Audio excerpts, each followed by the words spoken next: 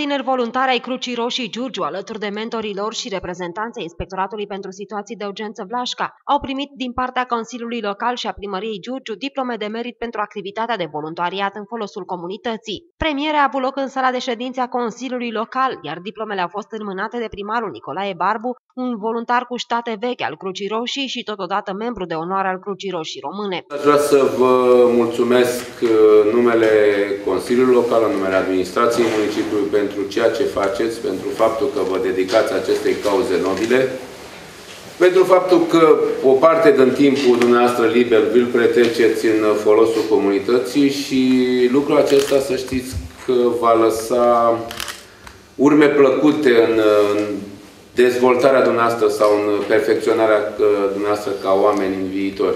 Alexandra Cojocaru, un semn de respect și prețuire pentru activitatea de voluntariat în folosul comunității și sprijinul acordat activităților Crucii Roșii George. Felicitări, domnișoară. Adrian Presuceanu.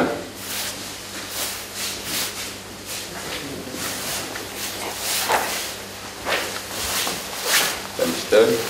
Succes în continuare. Domnul doctor, să mai Alin Catrina.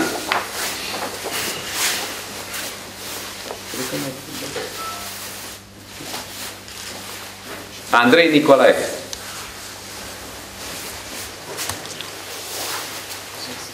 Dacă nu mai aveam diplome, stăteam bani.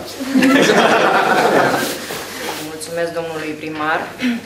Uh, pentru că nu este prima dată când se implică în activitatea uh, umanitară desfășurată de Crucea Roșie Giurgiu.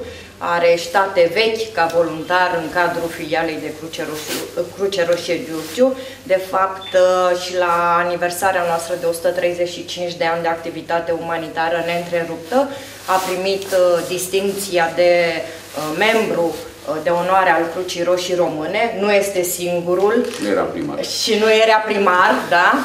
Uh, de fapt, uh, sunt mai multe persoane care s-au implicat în activitatea umanitară și vreau să-i mulțumesc și domnului Vucă, care este un voluntar cu ștate vechi în cadrul filialei și domnului comandant al Inspectoratului de uh, pompieri, Isu Blașca, care de fapt uh, și dânsul s-a implicat în activitatea noastră umanitară. Încă o dată mulțumiri pentru tot. Alături de voluntarii premiați s-a aflat și dr. Bogdan Hurmuz, dar și plutonier Ștefanel Marcu, care a primit din partea ISU Covasna diploma de excelență după ce în vara acestui an a salvat de la moarte un coleg pompier de la Covasna implicat într-un accident rutier în dreptul localității Daia. Domnul doctor Bogdan Hurmuz, domnul doctor, care pe lângă sprijinul, felicitări domnul doctor, felicitări, este un lucru normal pentru dumneavoastră, colegii dumneavoastră s-au gândit să vă și evidențieze într-un alt, într-o altă formă. Vă spuneam că face parte din uh, obiectul dânșilor de activitate și din modul dânșilor de a ajuta și de a fi acolo unde este nevoie. Felicitări încă o dată dumneavoastră și detașamentului dumneavoastră.